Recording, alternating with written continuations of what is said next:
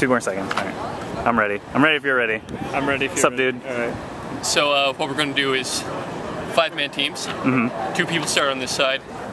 Three people start on that side. So we're going to go one, two, three, four.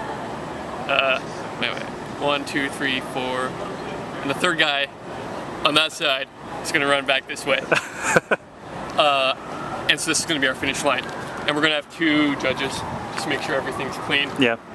We're going to use uh, these lines as our markers, and we're going to have a guy stand here just to make sure no one's doing any uh, false starts.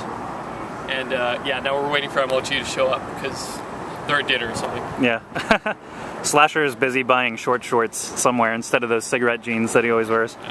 All right. And we do have a, quite a turnout actually. It looks like we got pretty much all of EG, FXO. Uh, there's some SIXJAX guys here. I don't know if SIXJAX has enough to, to run. I saw uh, Juan and DDE, but that's it from them, so I don't know if they're going to run.